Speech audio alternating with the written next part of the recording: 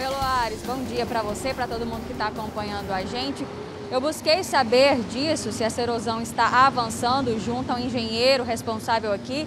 Ele é funcionário da concessionária que administra a BR-153 e ele me disse que, na verdade, não existe isso. O que, que pode acontecer, Loares, é o seguinte.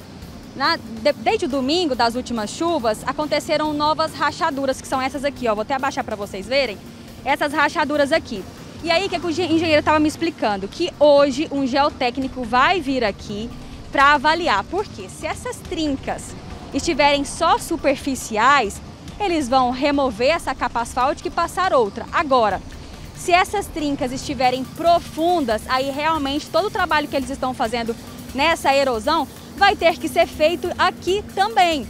Então, por isso que a gente pode levantar esse questionamento se esse buraco vai ficar ainda maior. Porque se essas rachaduras estiverem mais profundas, realmente eles vão ter que arrancar toda a capa asfáltica, fazer o aterramento do jeito que eles fizeram aqui com pedra e fazer todo o trabalho de uma forma bem mais ampla. Mas isso só o geotécnico que vai dizer para a gente, né, a partir da tarde de hoje. Ele vai vir no finalzinho, ele, o engenheiro me disse que ele vai vir por volta das 4 horas da tarde fazer essa análise sobre essas rachaduras. Então há a possibilidade desse buraco ser ainda maior, mas por enquanto o que a gente vê é esse reparo nessa cratera, que é a cratera inicial.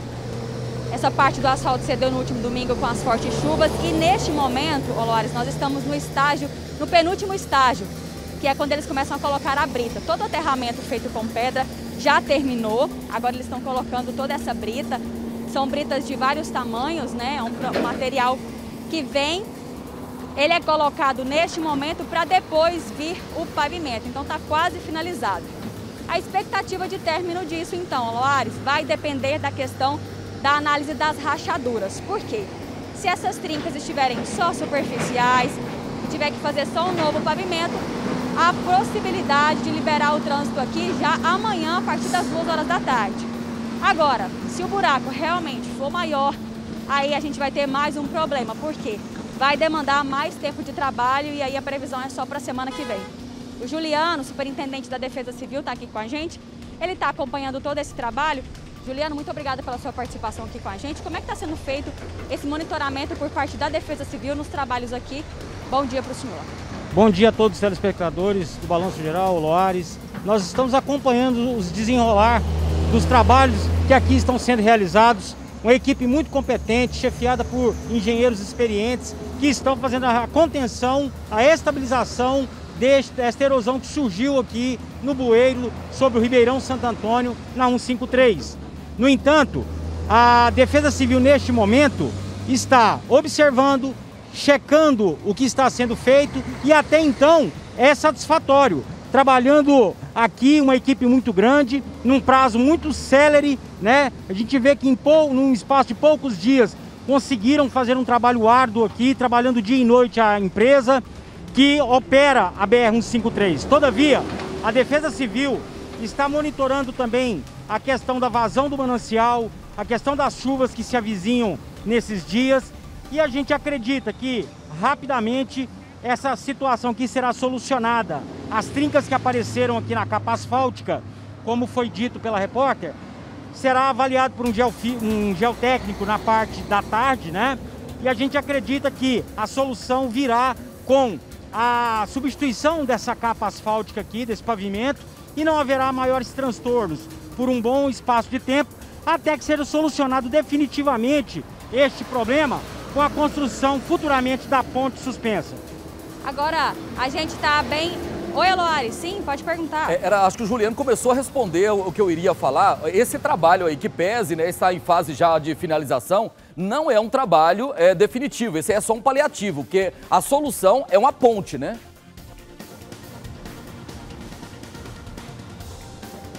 O Loá está justamente falando dessa última questão que você citou, que isso aqui é um trabalho paliativo, né? Ele é temporário, porque a solução definitiva então seria justamente uma ponte?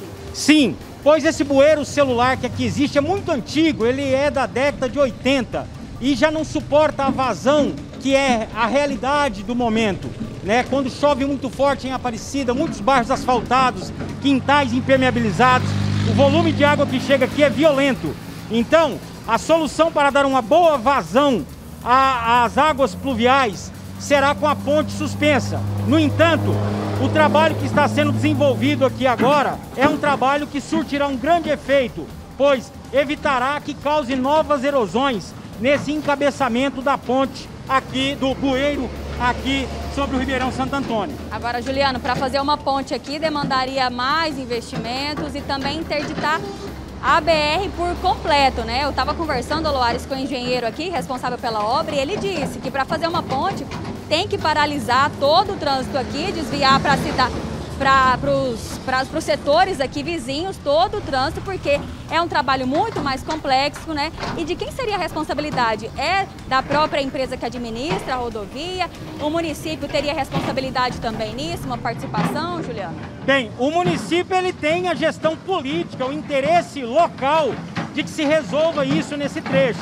As autoridades políticas do município, do estado, querem a solução deste problema. Agora, o aporte financeiro é do governo federal, é um trecho federal dentro do município de Aparecida, Ministério dos Transportes, Ministério da Infraestrutura e é lógico, executado, administrado pela empresa que é concessionária.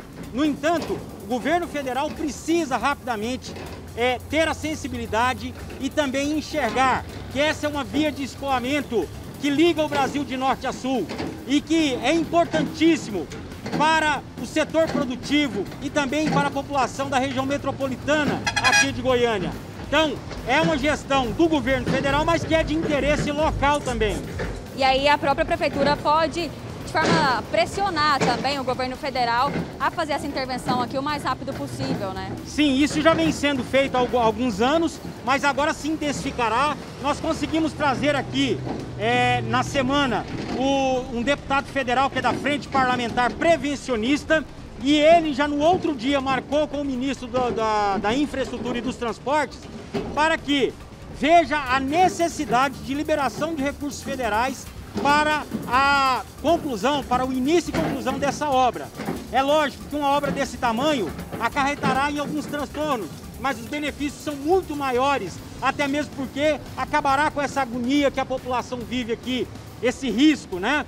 Então a gente sabe que também uma obra desse tamanho, geralmente, não sei se será o caso aqui, quando é feita, eles planejam a interdição de uma parte da via, faz um lado né, no sentido é, é, contrário e depois eles fazem a outra parte da ponte no outro lado. Não sei se será o caso aqui. Prefiro deixar isso com os engenheiros que planejarão essa obra. E vamos acreditar que com a ajuda da imprensa, da população e das autoridades, dos parlamentares, conseguiremos então que o governo federal libere esses recursos e dê ordem de serviço para essa ponte. Te agradeço muito pela sua participação, né, Loares? Se tiver jeito de fazer um trabalho melhor e permanente, como a ponte aqui sem conseguir interromper o fluxo, melhor ainda, né? A gente segue acompanhando aqui, como eu disse, a previsão.